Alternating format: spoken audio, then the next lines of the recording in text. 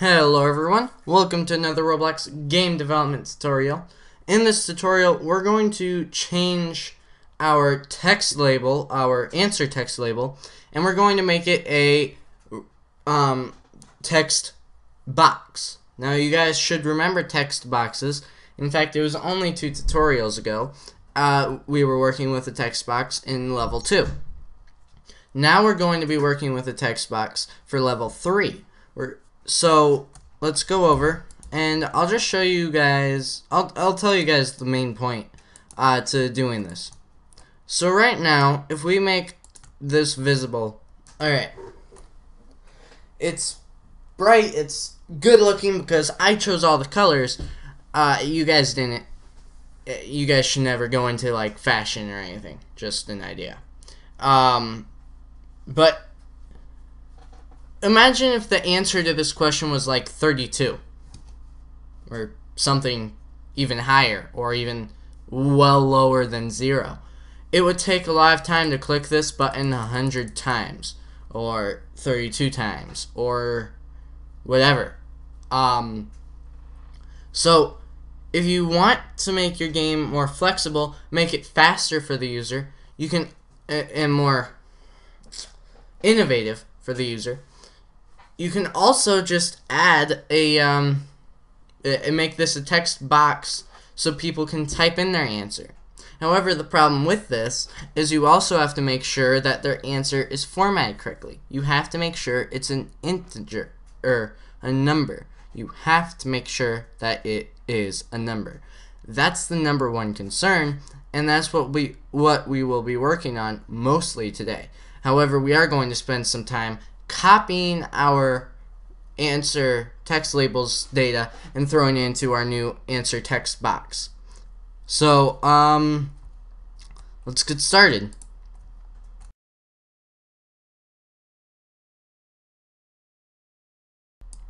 Alright, now for the scripting.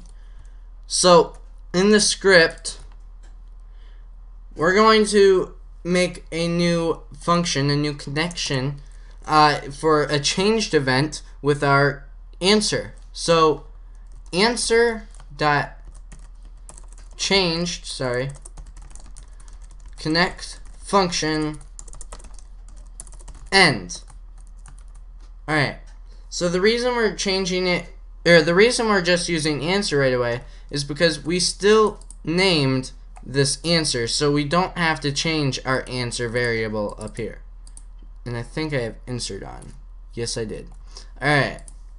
So now we can go down here, and this is where the scripting and the main part, part of this uh, tutorial begins. So I'm going to show you guys a new function. It's called toNumber. Basically what it does is it will read a string that you put in as a parameter and if it is in fact the number that's in the string, no letters, nothing else but a number, then it'll take your number and it'll throw it in, um, and it'll take your string and it'll throw back a number. It will return a number, uh, the number represented in the string. However, if it isn't a perfect number inside the string, it'll return nil, which nil is not, it's nothing. It's not equal to zero. It's not equal to negative something. It's nothing. It's the idea of nothingness while still existing enough for us to know about. So it's really just, I, I don't know how to describe it besides it's nothing. So let's go back into our answer.change and we're going to use an if statement to double check that our um, the user has entered a number. So if toNumber answer that text does not equal nil then. So we're making sure it doesn't equal nil we're making sure it's actually a number. And then we're going to simply change our answer int into toNumber answer.text. If we do that, it'll be very simple to just grab the number, throw it out, and now the user can work much faster in their quiz and hopefully have a much better more fluid experience. So, we're going to try this out. If it loads fast enough. Alright. So, I I really should get rid of that tool. It just gets in the way every time. So we know we can still hit this. It's still working like it used to. However, there's one problem we I always forget to fix this first. Change it to invisible first.